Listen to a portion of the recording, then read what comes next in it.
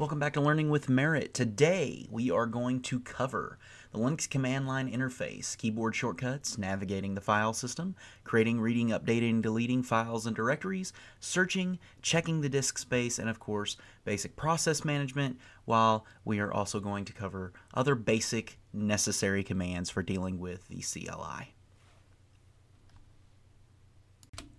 Let's talk about the Linux command line. So of course we have the console, which is our physical device. It's going to be like our keyboard and monitor. And then we have the command line, which is our text-based interface that allows us to interact with the computer by typing in commands. And of course it's much older than the graphical user point and click mouse type interface. We have the shell, which is our program that interprets our commands and uh, points out uh, or provides output to the user. There are multiple shells that can be used in Linux, but the default one we're going to use is Bash. And the Bash shell or Bourne Again shell is also a language, a programming language that was written for the GNU project, which is a part of the Linux operating or the GNU Linux operating system. So it's um, also used for shell scripts. And shell scripts are basically little programs that do things because Bash is also a programming language that you can use as well as the command line interface that we are going to work with. So terminal is going to be the little program we're going to use. We're actually in a terminal right now. It's what's displaying this text to you.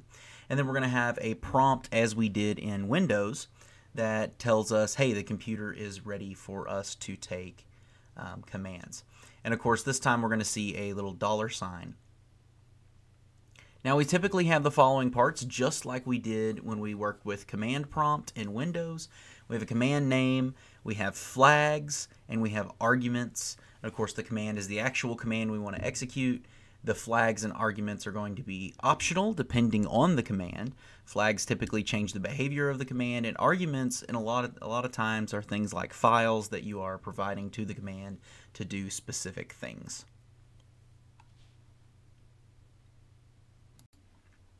Now that we know what the command line is, and we've talked a little bit about what we're going to use, we need to understand how to actually get to the command line. So one of the ways that we can actually get to the command line is to use a keyboard shortcut. Now, the easiest way to get to the command line for most people is just going to be to come down here to the taskbar and you will see the terminal emulator here. We have a little tool called the terminal emulator and it pops up just like that if you click on it. But maybe it isn't um, right down here whenever you access your new fancy Linux distribution. The other way you can do it, in most Linux distros, Control, Alt, and T will open up the command line interface for you. So remember that's Control, Alt, and T all together. And you don't have to hit them exactly the same time. You can hold Control, then Alt, then T, and it will open up. Now you can make the terminal a little bit bigger um, by hitting Control Shift and then the button that's plus so basically it's control plus, but you have to hit shift to get the plus to uh, work. So it's control and shift and plus on this. So once you get this open, there are uh, several tabs up here at the top. And you can sort of change the size of the window if you want. You can reset it. Um, there's also help like about, for example. So here we can see what type of terminal emulator we are using. So this is the GNOME termi uh, terminal and it is a terminal emulator because things are all fancy these days. It's not an actual terminal, it's a terminal emulator um, for the GNOME desktop environment, which is um, what Cinnamon, I believe. Cinnamon is the desktop environment for uh, the current version of Linux Mint, and it uses pieces of the GNOME desktop environment. So now that we know what kind of terminal we're using, of course you can see the different version and things like that. Go look at the website. That's what help is going to show us as well as some. You click on contents. It's going to take you to stuff like this where you can get some help with your terminal, like customizing the appearance, appearance and behavior, uh, and things like that. And most most Linux terminals that I've worked with uh, have something similar to this. A lot, uh, GNOME is a very common one to see used. We also have search. So we have find for things control F like we all know, except if you look in this particular case, it's shift control F. We have view, so we could show the menu bar or we could get rid of it and then suddenly it's not there. And now we don't have the menu bar to work with.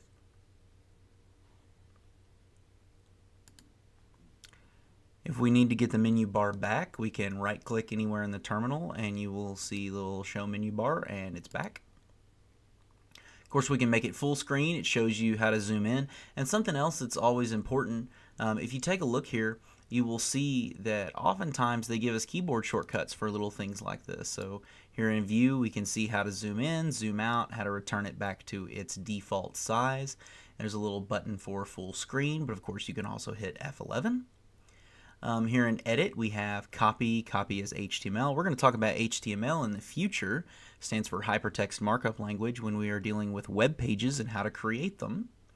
And then we have um, how to paste. Of course, you'll see it's different. We have Shift Control C and Shift Control V whenever we're working in the terminal for copy and paste.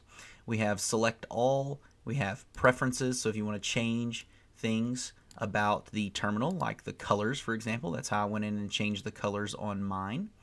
Is I went from uh, what it provided me, which was the it's it's used colors from system theme. Uncheck that, and then I was able to change the default colors that I wanted to do there as well. And of course, there's several different things here, but we're not going to go through um, every one of these. Um, you can look through them yourself if you'd like to and mess around with them. There's plenty of different things to find out there. And then, of course, we have File, we have New Tab, New Window. You can, of course, create a new tab with Shift Control T, a new window, Shift Control N, close it with Shift Control W, and close the uh, sorry, close the tab with Control Shift Control W, and close the window with Shift Control Q. So lots of different keyboard commands, and of course, as you get more fluent with Linux um, and you're working with it more and more, you would um, eventually learn those commands pretty much by heart because you're using them so much. And I will tell you that while point and click is easy and terminal seems hard, the terminal is ultimately faster once you know what you're doing. In the beginning, it seems sort of stupid, like, why would I do this? I don't really need it. But later on, whenever you're able to string, you know, several commands together, because you know what you're doing, it takes you, you know, easily a tenth of the time it would have taken you to do that if you were working, you know, got to click here, got to click here, got to click here. Take a look at some keyboard shortcuts. So we already know how to open the terminal. Um, in this case, we have a few basic navigation things we can do. Control C is to stop whatever's currently running. Control D will log you out. Control Z is not undo it is suspend a process. Okay, if you get caught in that, you need to hit FG to get out. Um, control L is to clear the screen. It's a, an alternative for clear. The command we'll learn later. We have Control A to move the cursor to the beginning of the line. Control E to move it to the end. Control U will delete from where the cursor is at to the beginning of the line. Control K will delete from where the cursor is at to the end. Control Y is our way of pasting so we basically cut with Control U and Control K, and Control Y allows us to paste that. Tab is our autocomplete. Then we have up arrow and down arrow to access uh, previous commands. Control R will let us search through our command history. Exclamation point, exclamation point will let us rerun the last command. And then exclamation point and a number will run let us run the nth command. So um, nth basically meaning that number. We also have Control T to swap the last two characters before the cursor, Control W delete the word before the cursor, and then Alt and period to insert the last argument from the previous command. So let's look at a couple of these. First of all, Control Control C is pretty easy. It just stops whatever you're doing. Control D would log us out, so I don't really want to start there. Control Z is going to suspend a process. So if I did this, so this is a command to um, edit text files. So I'm going to type nano and then file.txt and it will create file.txt. Now, if I hit Control Z, well, in this case, it doesn't like it. But if I hit, let's see, that should be, if I do that right there, it says it's it's put it in the background, right? So what we're dealing with is I need to hit FG to return back to that process. So if I hit FG, it returns back to that process. See, I go right back to it. So I'm going to actually get out of that correctly this time. Now we have some other commands. So if we look up here, we have Control A. So I'm gonna um, I'm gonna type uh, sort of a uh, lengthy command here. So if I did um, sudo apt update and let's see and sudo apt upgrade dash y. So that's kind of a lengthy command right there. And it says we want to I need to move the cursor to the beginning like I, I messed up right? I didn't type sudo correctly for some reason. If I hit control and A it takes me to the beginning of the cursor there. If I hit control and E it takes me to the end of the cursor.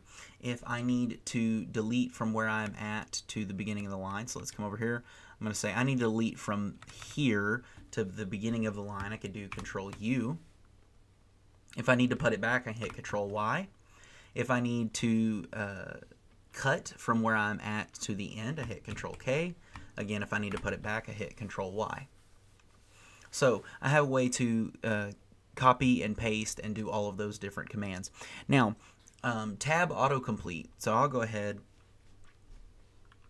and I will hit um, Control U, get uh, rid of all of that if I need to autocomplete something, so let's say that I'm trying to um, go through a lengthy process. Let's say I'm trying to change my directory to root, and then, I don't know, let's see, I want to go to etc somewhere.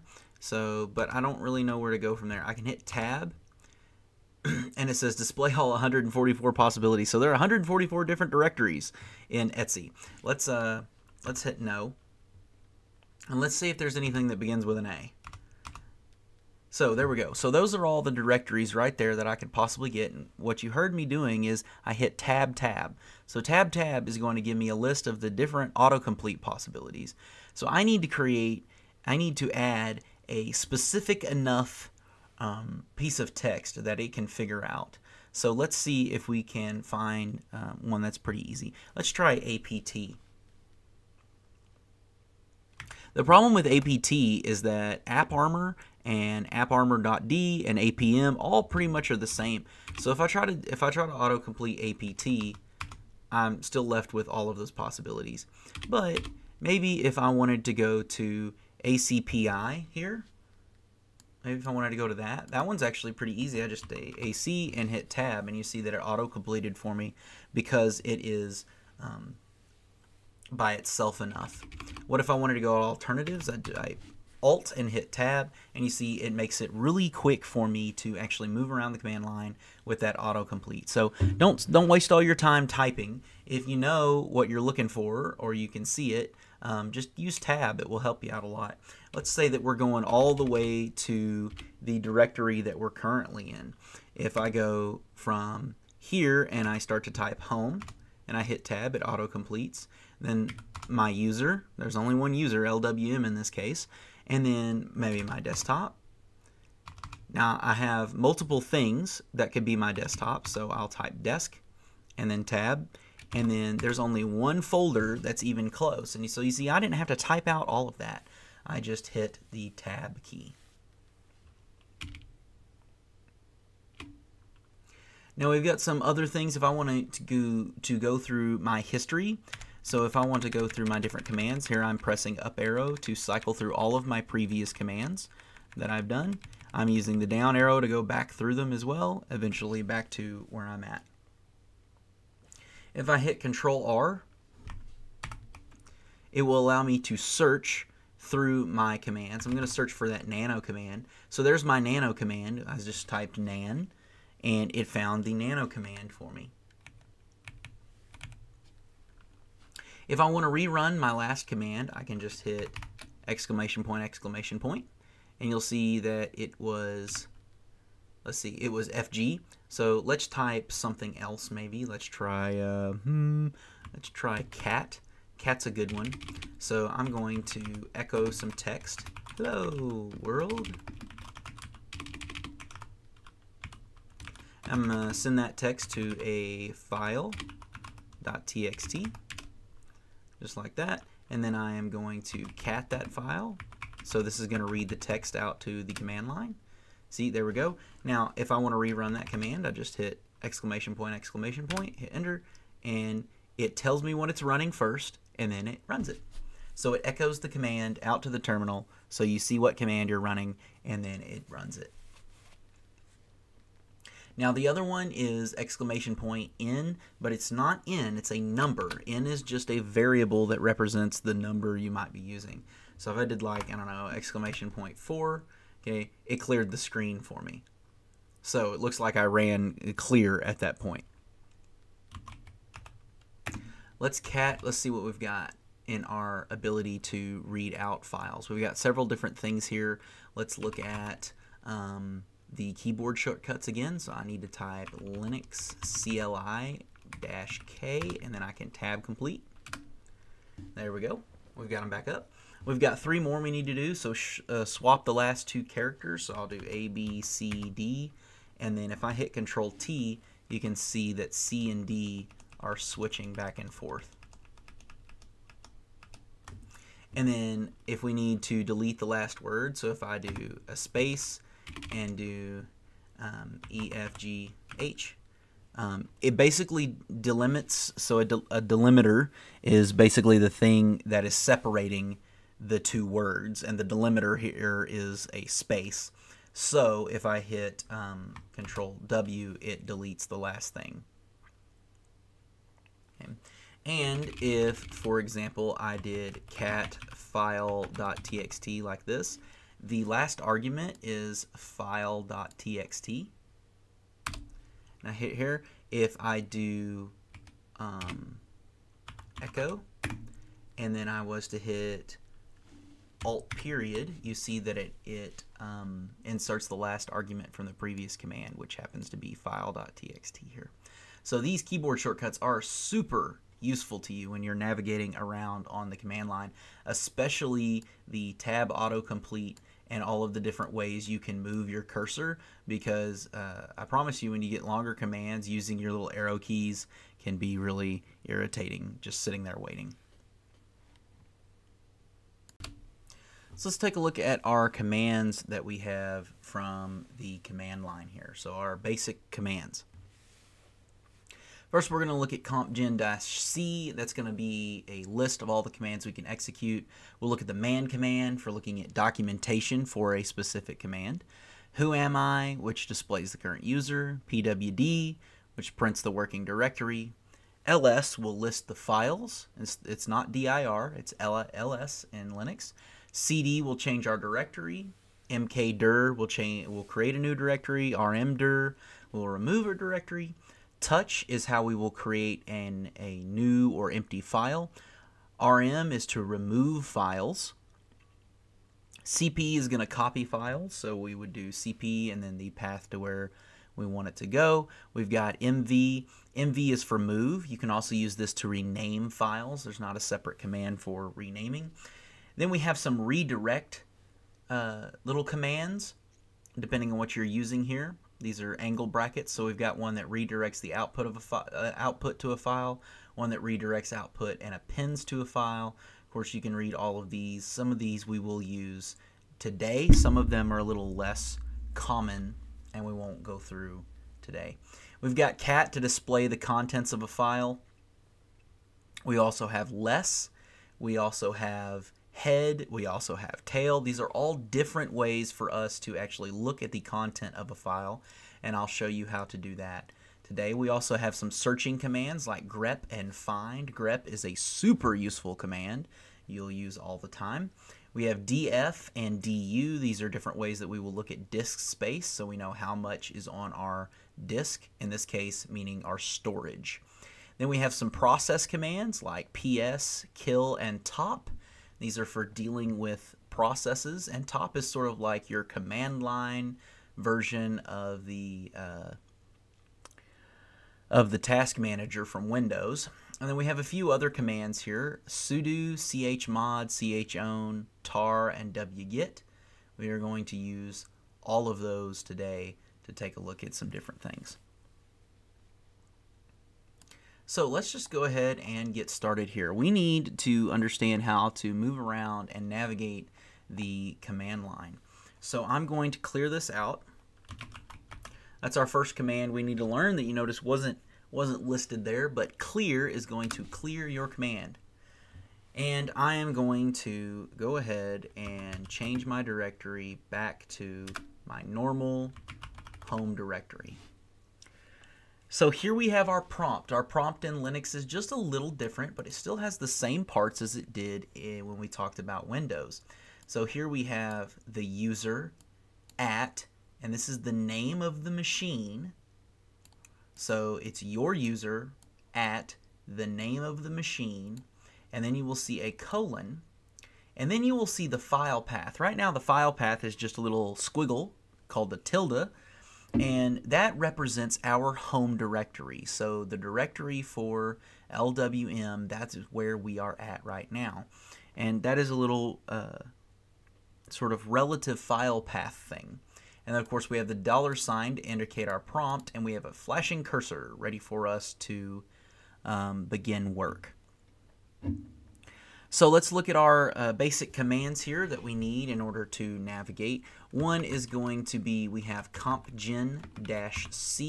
This is going to list, in most Linux distributions, this is going to list all of the possible commands that we might have here. And you will see it is a massive amount. Lots and lots and lots and lots and lots and lots and lots of commands. So you, of course, can look through that if you'd like. I'm going to go ahead and clear the screen and just to make this a little bit easier, I'm going to do compgen-c, and then I'm going to pipe that, which this is one of our little tools. So that's a little pipe, and it allows me to redirect the output of one command to the input of another. So I'm going to say I want to take the output of this compgen-c command, and I want to redirect it to the less command. And what I get now is instead of a massive, you know, uh, list of stuff that just automatically gets vomited out onto the screen, I get it a page at a time. So as I hit enter, it continues to add more and more commands. So this is a much easier way for me to look through the commands is by piping it to less. And you can see how useful this is because instead of having to scroll through from the bottom to try to look for what you're looking for here, we can just sort of scroll through here. And there is a command, I think I think I found it right there. This one is going to be very useful to us in just a second. The pwd command. You'll also see kill right there. That's one of the commands we're going to use later. There's also fg, one that we talked about earlier. There are lots and lots and lots of different commands here that we can look at. We've got apt, you saw that, that was one of the uh, little example commands that I was using. We have user, user delete, that's uh, useful for getting rid of users if you need to. All kinds of stuff on here. So you can search through these and you can see all of the different commands that are available on this particular system. And the cool thing about this is once you know maybe you're interested in a command, let's see how we can learn more about that particular command. So I want to know what that pwd command does. So let's clear real quick. And let's use the man command. So man is from manual, and it is going to show us the documentation that is available on the system for a particular command. And I saw pwd, and that's an important one. So we're going to do man pwd, and you'll get a page that looks like this and it will tell you what that command does. This is extremely useful when you have no idea what the command does and how to use it. And they will give you a few interesting things. So first of all, here is the command pwd, and it says we're going to print the name of the current working directory. It gives you a example sort of, uh, and, and these get more confusing the more complex the command is. But basically, you have pwd, which is what you're going to type, and then you will provide some sort of option uh, optionally. So you can just type PWD without an option, but here are some of the options that we have. So we have logical, we have physical, we have help, and we have version, and those are the only available flags that we can use with this command. So It also gives you some author and things for reporting bugs and some stuff like that. See also other commands you might want to look at, and it will even give you a link to some full documentation. And down here it tells you H for help or Q to quit. We're going to quit. So we're going to type Q. And we're going to use the pwd command. So I'm going to say pwd. pwd will give you the absolute path to where you are at. So the path as a relative file path is just this little tilde symbol, and that indicates the home directory of my current user.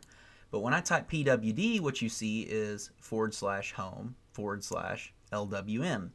And this is the absolute path to where I'm at. So, of course, forward slash is root, then we have home, and then we have another delimiter there, and then we have lwm. So that is my current working directory.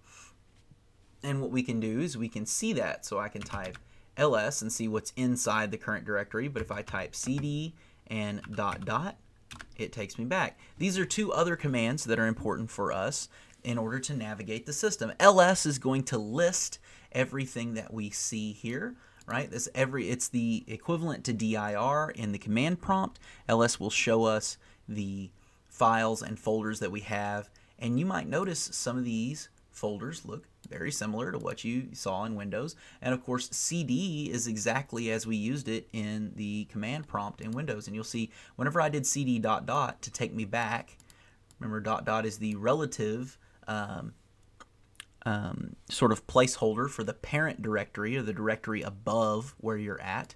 And of course, it takes us into home. And if I do CD dot dot again,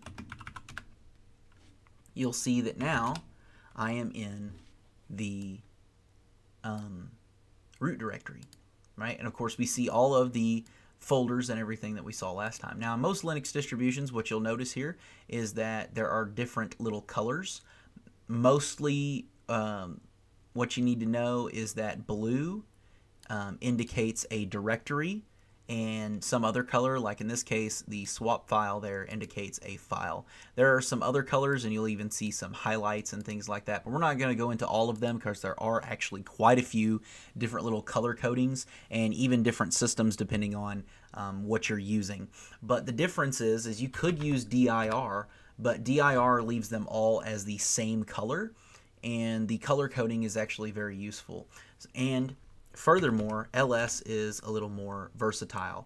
There are some flags we can use with ls like um, la for um, basically show me everything and it will give you more information and it will also show you any hidden files or folders that exist.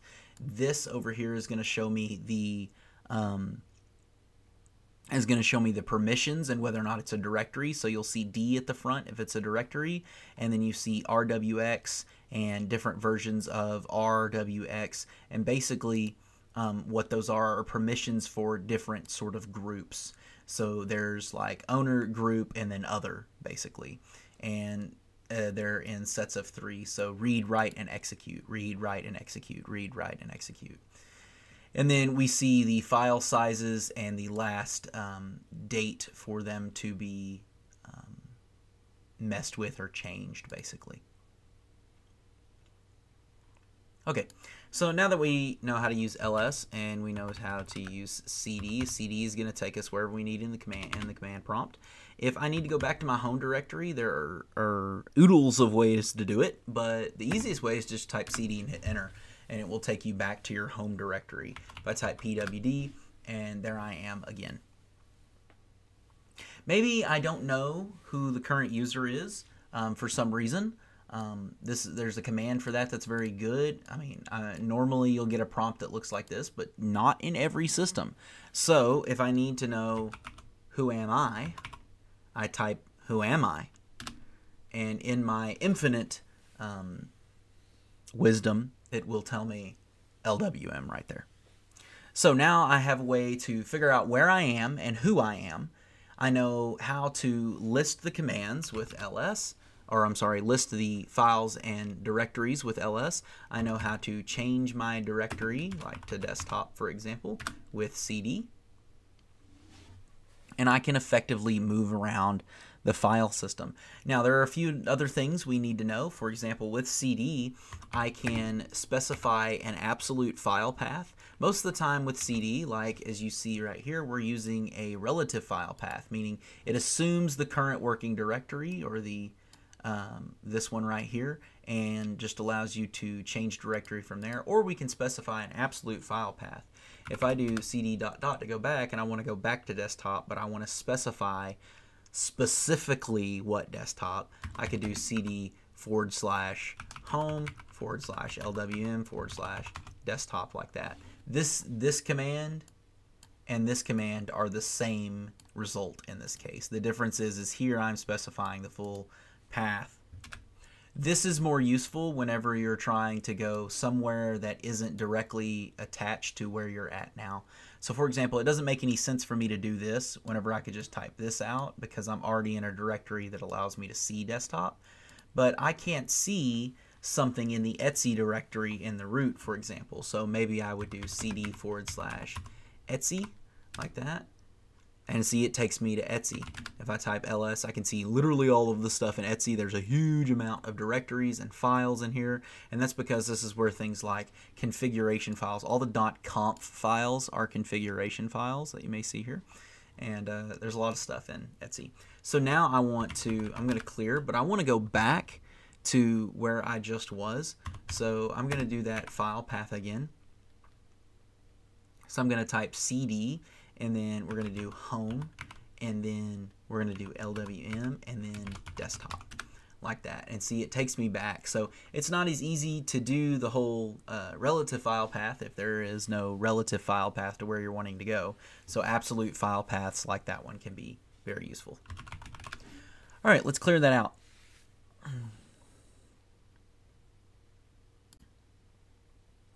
Now that we know how to navigate around the file system and look at things and, and do different stuff, we're going to use those commands to move around and make some directories, make some files, and we're going to read out those files and do all sorts of things there. Our first command is going to be to make a directory. So let's do this very simple. I'm going to type ls, and you'll see we only have one directory right now inside of our desktop. And I recommend that if you're doing this uh, with me, that you do this in your desktop as well, because it's just easier to work with um, what's in your desktop. You will probably not have anything in your desktop because I've already created this particular folder here. So to make a folder, we're going to type mkdir. Our argument is going to be the name that we want the folder to be. So we're going to say mkdir my folder. We'll do that, type ls, and you'll see that my folder now exists. To remove the folder, we type rmdir my folder, like that. Type ls, and you'll see that it's no longer there. I'm going to clear the screen. Let's make our screen just a little bit bigger. Now, I need to mkdir my folder. And now inside, I'm going to change to my folder, so cd my folder to go into that folder, type ls, you'll see that the prompt changed, and you'll see when I typed ls there was nothing in that folder. Let's make a file. I'm going to create an empty file, and we're going to call it file.txt. So you type touch, touch will create an empty file, and in this case it's file.txt. I type ls, we now see that it exists. If I go back a directory, and I'm now in desktop. I type ls, I see what I'm looking at, and I want to do rmdir my folder. I run into a problem. It says failed to remove my folder directory is not empty. So if I have a non-empty directory, rmdir will not work. Let's look at the man page for rmdir or rmdir. All right, and we have a couple of things. We have ignore fail on non-empty. So it says ignore failure that is solely because the directory is not empty. We have parents, verbose, help, and version. So this is not a particularly useful command whenever you're trying to remove a directory that is full. And so we're going to see here very quickly how to do that. If you want to remove a directory that is full, we use the rm command like we will for files, but we're going to use a couple of flags with it. One of them is dash R for recursive, which means delete everything in this folder. So the folder and all of its contents and all of the folders within its contents and all of it. So it deletes everything. All right, so if I do rm-r and then my folder, now I type ls, you'll see my folder and everything is gone and I didn't get an error. So it's remember we have in this particular case, this is a great command for this. We have the um, we have the command itself. We have a flag, which changes how this argument or how this uh, command works, and then we have an argument that we pass to the command for it to do what it's intended to do. All right, so now we know how to make and delete folders if we need to. We saw very quickly how to create a, um, a file. So let's go ahead and make that folder again. So mkdir, my folder. I'm to put all of my stuff in that. So I'm going to cd to my folder, type ls. You'll see there's nothing in there. I'm going to type touch. And then let's do hello world. Let's see if we can get away with this. Hello world and then file oops file.txt type ls now you see, that didn't quite work like maybe we expected. And that's similar to the way we used type last time. So I'm going to go ahead and remove those. So if I need to remove all of the files in a folder, I can do rm and star. And star is a wildcard operator and it means literally anything. So in this case, I deleted everything in that folder with the remove command. So let's try touch a little bit different. So we're going to do touch file.txt. There we go. It created the file that I wanted. If I try to read that with cat and I do file.txt, you'll see there's nothing in there. Now I could also do other commands for creating files. So if I use echo and I do hello world, I'm going to use another one of those redirects. You saw me use it just a second ago. That is the angle bracket. Okay, it's, we call it the right angle bracket. Um, to you, it may be the greater than symbol. So we use the right angle bracket, and this is going to tell us where to put hello world. And I'm going to put that inside of file.txt. So echo hello world inside of file.txt. Now, if I didn't do file.txt, it would just print out to the uh, console here, to the terminal. But what I did is I redirected the output to the file. So now if I try to cat file.txt, you'll see that it says hello world, which is very cool. So now we know how to put some text inside of a file. We know how to read that text with the simple cat command. There are some other things we can do. Let's say that I want to redirect some output um, to the file. So if I do echo and I do goodbye world and I redirect that to file.txt and then I cat file.txt, you see that it removed hello world. So it overwrote hello world, but I don't necessarily want to do that every time. So what I'm going to do here is we're going to use a little bit different command. So if I come to this and I add two right angle brackets, that will append. Now what a p append means is tack on to the end or add to the end of the file. So now if I do that and I cat the file, you'll see now it says goodbye world, hello world.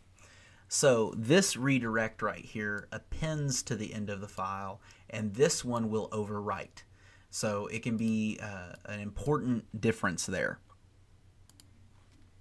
Type ls again, see what we've got. I'm going to clear. All right, so we've got file.txt. We know how to redirect output to a file. We know how to redirect and append to the end of a file. What about if I need to move or rename the file? So to move the file, I need to type mv for move. I need the argument of the file name, and then I need to tell it where I want to move it to. So I'm going to move this to home LWM, and let's do downloads. Yeah, downloads. There we go. So I've got move file.txt to home LWM downloads. If I do that, I type ls, you'll see that I no longer have file.txt here. And if I do ls and then specify home LWM forward slash DOW, downloads like that, what I'm telling this to do is read from this particular folder downloads here by specifying the absolute path. I hit enter and you'll see there's file.txt. So it's in that in that folder. It's in downloads in that directory. I want to move it back. So I'm going to type mv, right? And if I do um, forward slash home forward slash lwm forward slash, here I'm typing the absolute path to find this file. So file.txt, because I'm not in that directory. I can't use a relative path for that. But if I want to move it to my current directory, I can just hit a period right there. Because period is a um, it, it's it's a uh, represent it's a representation of the current directory. So when I did that, and I type ls, you'll see that file.txt has been moved back to our current directory.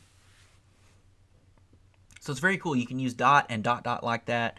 You can use that little star um, as a wildcard operator. Very, very useful.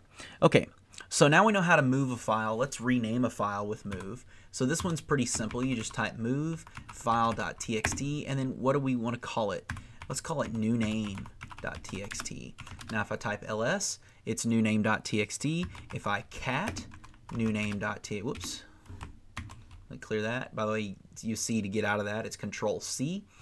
I want to cat new name txt and you'll see it still has the same contents it just has a different name so we're going to clear that out there are other ways for us to work with files including copying a file so if I want to copy actually let's move it back to so let's take new name and make it file.txt again because I just prefer working with file.txt. So clear ls, you'll see it's now file.txt again. Now what I'm going to do is I'm going to do cp for copy. And when we copy, I'm going to do copy file.txt. And here's what it says, missing destination file operand, which means I need to tell it where to copy it to, right? So let's make a copy of file.txt and let's send it to the desktop. Now the desktop is the parent folder to my current folder. So what I'm going to do is just type dot dot because dot dot represents the parent folder to my current folder. So I'm going to do that. If I type ls here, we see that there's file.txt. If I type ls dot dot and we look at the folder above this one, so the desktop folder, you'll see there is file.txt right there. Remember, dot dot or period period is a reference to the parent directory of my current directory, and dot, just a single period, is a reference to my current directory. All right, now we know how to copy a file. We know how to move a file around, rename it. Now we need to delete a file. I want to delete that file in desktop. So what I'm going to do is I'm going to type rm and I'm going to type the path. In this case, I can use a relative path so I'm going to say dot dot for the parent directory, meaning desktop, and then forward slash, and then the name of the file. And now you'll see that file.txt is still in the folder, still in my folder, but if I do ls dot dot, you'll see it's no longer in the parent folder, which is what we intended to do. All right, so we were able to move all of that stuff around. Now we need to look at some different files and folders here and how we read files and folders. To do that, I'm going to enlist the help of a very cool little website and a very cool little command. So this little command is wget and it stands for webget and what it means is we're, we're I'm going to type in a URL or a uniform resource locator. You know it as a web address most likely. And this web address is going to be to a text file that contains a uh, copy of Moby Dick or the whale. So I'm going to say wget and do www.wget gutenberg.org forward slash cache forward slash epub forward slash 2701. And all I'm doing is typing out the exact URL of this file that I want. So when I use wget and I hit enter, you'll see it downloads that. It gives me some information about it downloading it. I can type ls and you'll see that file there. I'm going to rename it. So I'm going to say move and then um, that page, and we're going to call this Moby Dick or the whale. .txt. Type ls, boom, there we go. All right, so if I clear my screen now, type ls, I have a copy of that. If I cat that file, we end up with this vomit all over the terminal and you have to scroll way up and I'm going to tell you, you're not going to get there anytime soon. It is a fairly large book. Here I'm scrolling with the, the bar. It it's so much text, right? So we need ways to deal with lots and lots and lots of text.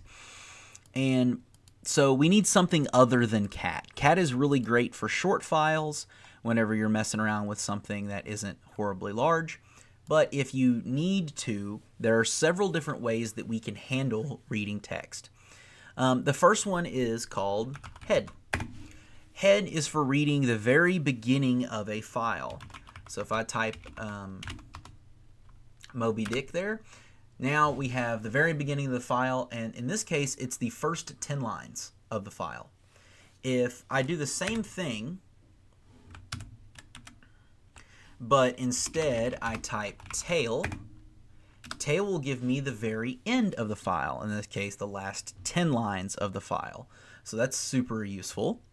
And then we also have the less command, which I believe that I showed you earlier. So we type less, and this will allow you to go line by line. So if you actually wanted to read this, this might be the way to read the text file, and it's very useful. You can see all of the different chapters for this. And of course, this is all open and free at this point, so you can just go through here. There are a bunch of chapters in the book, and you could literally read this book on the command line like this if you'd like to. To get out of it, we can just hit Q, and that will stop the less command. Now, there are all kinds of flags. Remember, you can type man. For example, if you wanted to do man tail, right there, you can get some commands that you can use with it. For example, tail is really useful whenever you want to read the end of a file that is constantly updating. So if you have like a log file, this is something I, I do all the time. If I have a log file that I want to see update, I can do uh, tail-f and it will allow me to see that update. Now we've got other commands. For example, we have nano if I want to edit. So I'm going to type nano and dash L so I can get line numbers and then that file and you'll see now I have the line numbers that I can work with. And I can go pretty fast through all of this. Of course, it is a super large text file. And of course, I can move fairly quickly here, as you can see with my uh, arrow keys. I'm actually holding control and down while I'm doing this, and it's moving me very quickly through the text file. There are also some things you can do. For example, like uh, you can sort of go to line and you can type in the line. So if I do like control um, forward slash, it'll say enter line number. Let's see if we have 10,000 lines. Yeah, we have we have more than 10,000 lines, so I can go to line 10,000. So if I know the line, I can do that. Um, hit Control X. That's why I did Nano dash L. So Nano by itself does not add the lines. You need to do dash L for the line numbers, and I always do dash L because the line numbers are so useful.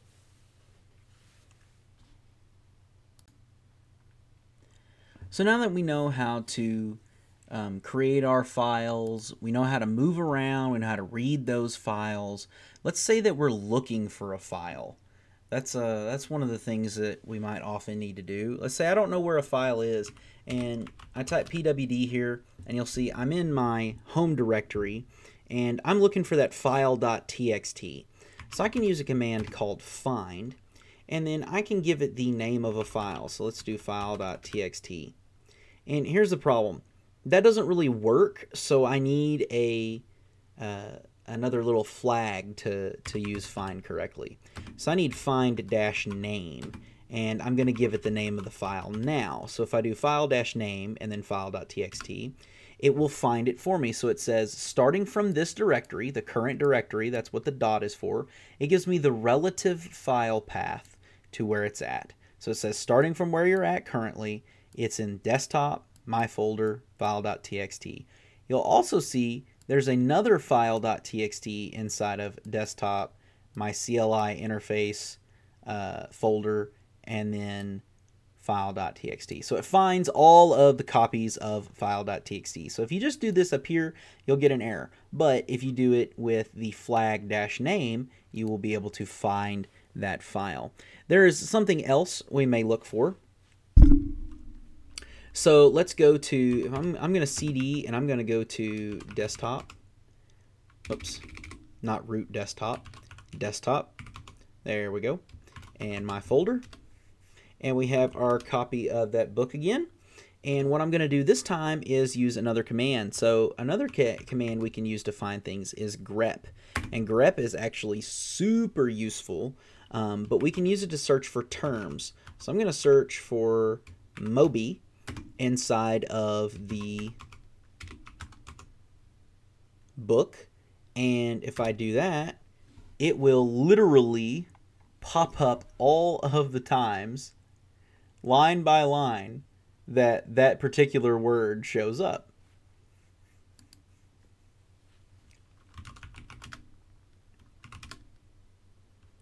Um, grep can be used for a lot of other things. So one of the things that grep is often used for is, let's see, uh, let's do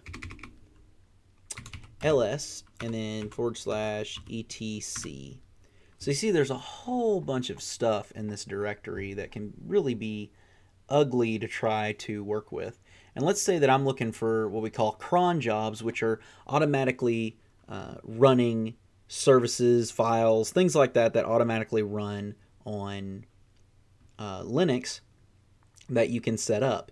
And so what we're going to do here is we will clear the screen and I will pipe the commands by giving my little vertical bar delimiter thing there. And I'm going to type ls forward slash etc. And then I'm going to pipe. So I'm going to pass the output, what we see on the screen, that output, to grep. And I'm going to look for cron, everywhere that cron shows up. And what you'll see here is it shows me highlighted all of the places that cron shows up in this output. It's actually very, very useful for looking for things, um, especially when you have a lot of output. So that's the simple commands for how we do uh, find things. So we can use grep for finding text and find for finding files. And of course, once you know how to use grep, you can use it very easily to find files and things like that as well. Um, for what you're looking for. And remember, of course, you can always use that man command, man grep, and it will give you more information on grep, including the different um, ways you can change how the command works.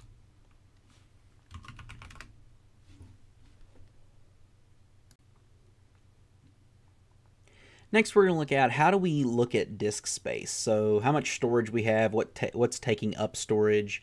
Um, simplest command for that is called df. And if we do man df here, we'll see that it reports the file system disk space usage. So of course we're working within our file system um, and we need to see what's taking up space. Now the one that we need right here is dash H because we want it to be human readable so that we can read it and not just the computer can read it.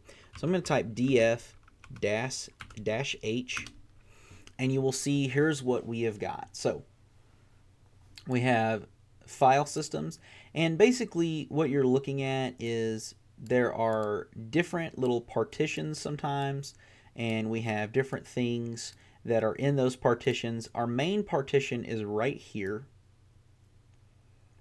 and this is what is actually um, set up as our hard disk. And so you can see that right now our total size is 24 gigs or gigabytes.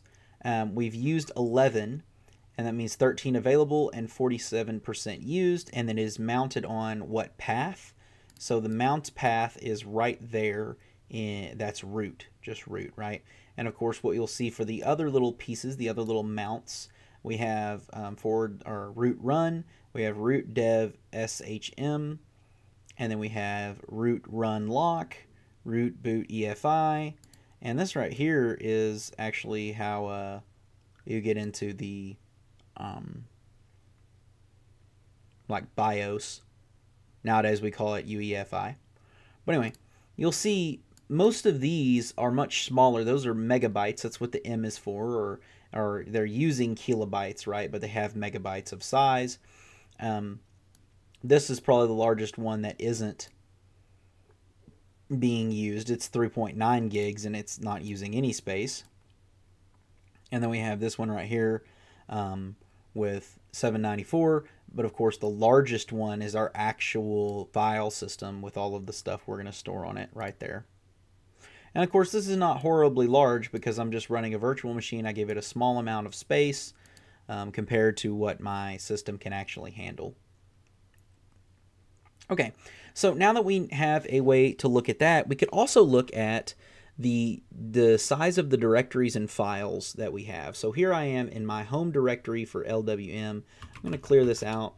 If we use du-h, we basically get the same thing. We're going to see all of the different little files and folders that we're dealing with here and approximately how much space they are taking up. And of course, it's very useful to see if you have any large files or folders, something taking up a lot of space um, it's a quick little way to use that. Of course, you can string that together with grep if you're looking for something specific.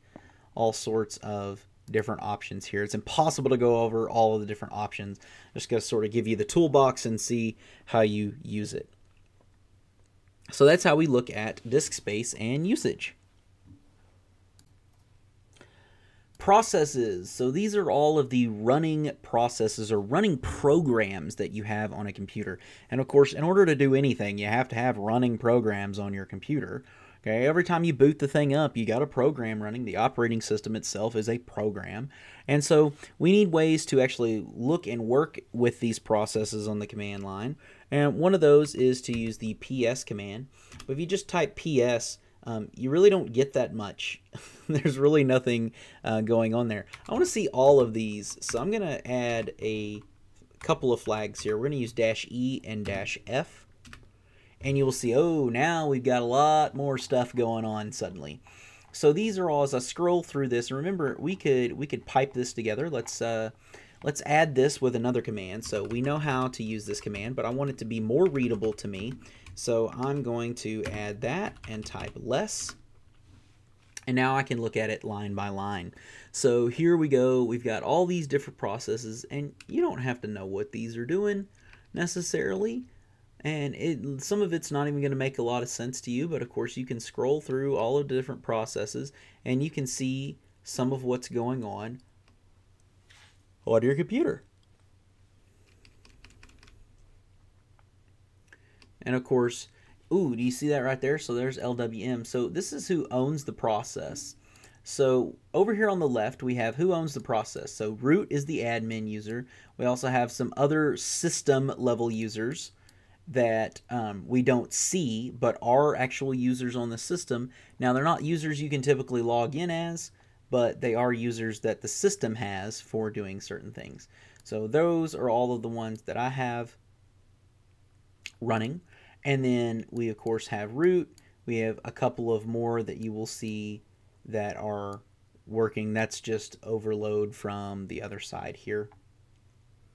systemd, for example.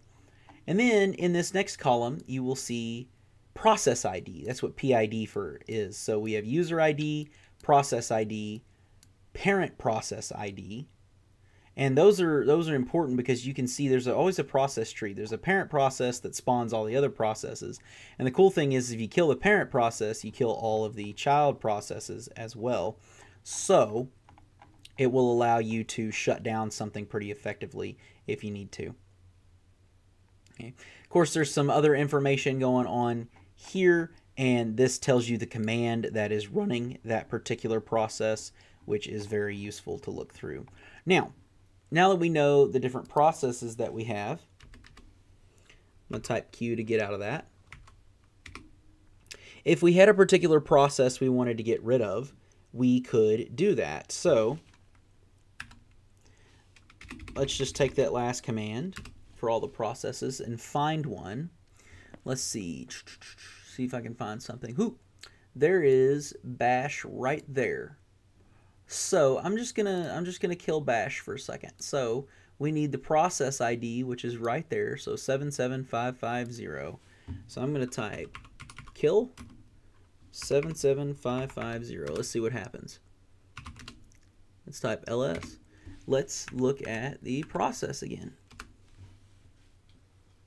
Looks like it didn't like that.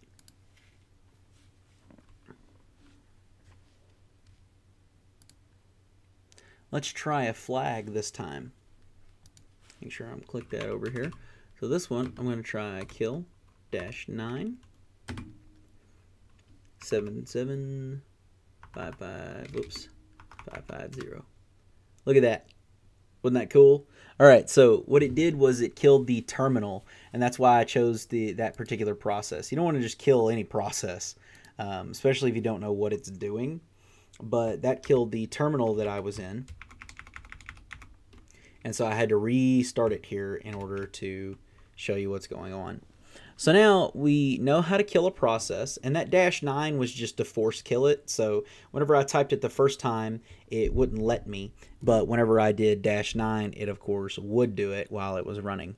Now we have one last little process command called top, and this command is very useful to us because it's basically like um, the task manager, but for the Linux command line.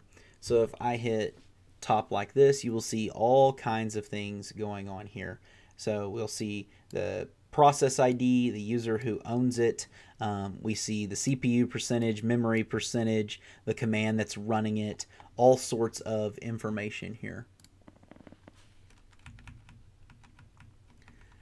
Of course, we can look through what's going on and scroll down through the different processes with our arrow keys.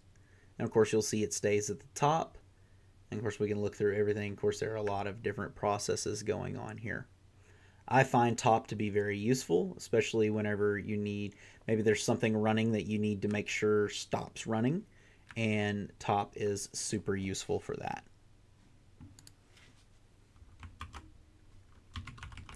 Hit Control C to get out of that one. All right, finally we have a few of our commands that are a little more miscellaneous. Um, they do have larger overreaching areas, but I don't really want to get into that in this basics video. But they are important for you to know about. One of them is sudo. So in Windows you have a administrator. In Linux we have root. And one of the ways that you perform a root command is by doing sudo. And sudo is stands for super user do and it allows you to become the administrator or root for one command. And so one command that you might run is sudo um, apt update. And that is because this is to update your computer. So you probably need to have a little higher level privileges. But if you need to have higher level privileges, you use the sudo command for anything. So for example, if I want to become the root user, I would have to type sudo and then su. So I'd have to give myself permission to switch to the root user and it's going to ask me for my password. And now you'll see that my prompt has changed completely. I am now root. I am no longer LWM. I am now root, so the administrator. If I want to exit out of that, I just type exit and it takes me right back. So the sudo command for running um, commands. So if it, you ever need uh, higher level permissions, you just type sudo and continue there as long as you are given those permissions in Linux. Uh, a couple of other things we may look at. So if I create a file, and hopefully you remember you can create a file like this. So we do file runme.sh. That is a little different file than a text file. It does contain text if I put text in it, but it could be used to run um, a command, for example. And in order to do that, I have to use the chmod command. The chmod command is for changing the permissions on a file. In this case, I'm going to do plus x on runme.sh. I'll type ls, and you see that it's color changed. It's because I can now run that file. So if I echo to that file, and let's see, no, let's not echo. Let's use nano to edit it. So I'm going to use nano-l runme.sh, and up here at the top, I'm going to do uh, hashtag and then exclamation point. This is called a shebang bin bash. So I'm going to tell it what interpreter to use. In this case, it's going to use the bash shell interpreter. And I'm going to tell it to echo I, whoop, but command executed, like that. So there's my command. I'm going to save and write that. So I hit Control S, Control X, and hit Enter. And now what I'm going to do is I'm going to run the command by doing dot forward slash runme.sh. And what you'll see is it says command executed. And that would not happen if it didn't have the permission to do so. For example, if I go back up here and I remove its ability to do that, and then I type forward slash run me dot sh, it says permission denied. If I add it back,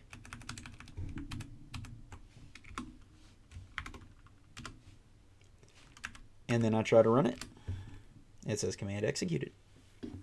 So that's kind of important. There's also a command called chown, and this changes who owns the file or folder, and that can be useful whenever you're working with multiple users. We have another command that I showed you guys earlier, which is wget, and so we've used that before. In fact, let's use our Control R, because I don't remember how far back I used that, but I do know I used wget. Let's see. It doesn't seem to find it. So it's probably because I cleared the terminal and whenever I did earlier, whenever I killed that process, it removed all of the stuff. But remember, we can use wget to retrieve a file from the internet, and you saw that earlier. And then our last one is tar. Now you remember, hopefully, uh, zip files from working with um, Windows. But we have .tar files that are typically used in Linux, and of course we have this little tool here. Now that doesn't mean zip files don't exist in Linux and that we can't work with zip files. It just means that lots of times we end up using tar instead of zip whenever we're working with Linux. So here's what we're going to do. We're going to create a tar file and then we're going to extract it. So uh, make sure that I'm cleared out. I'm going to type ls. I'm going to remove runme.sh type ls again, there we go. So now I have my folder. If I ls my folder, I can see what's in there. And I, I don't like that the book is taking up so much space. So we're just going to compress that entire, entire folder and everything into an archive. So I'm going to type tar. But I realize I don't really know how to make an archive with tar. So I might type in man and then tar like we've done before. And we're going to use the dash C flag for create. And the next dash X flag is for extract. So C is to create the archive, X is to extract. We've got a couple of other things that we're going to throw in there. They're a little further down here. You'll see there's the dash C for create. We are going to also add in, let's see if they've got them up here. They don't. They're going to be a little further down. We're going to add the dash V. You may have to look pretty far sometimes um, whenever you scroll down for stuff. Anyway, I'll just tell you because it's going to be a little bit to go through this. So what we're going to do is we're going to type tar and then we're going to do dash C. Now, I don't have to do dash a different one. I could do dash, you know, dash V and dash F, but that that's kind of ugly. So I can add them all together. So what I'm going to do is dash V so that it tells me what it's doing every time. That's really important.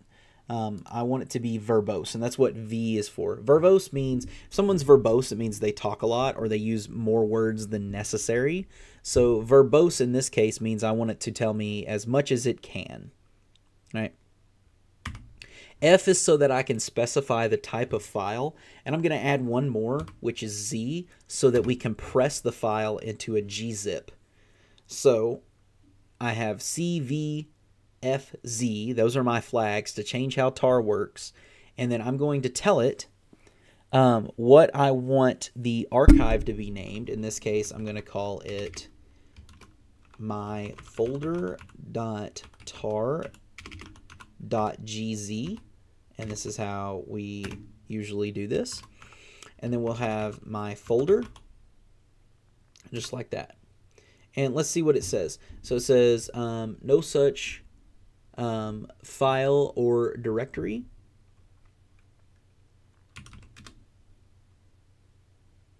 And it's added Z for some reason. Let me let me remove this real quick and see what I have done wrong.